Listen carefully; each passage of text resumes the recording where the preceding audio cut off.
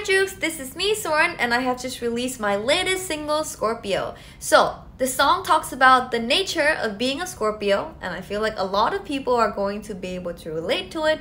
I've also added a hidden message in the lyrics to encourage my listeners that whatever other people say about you, you are enough and you should love yourself.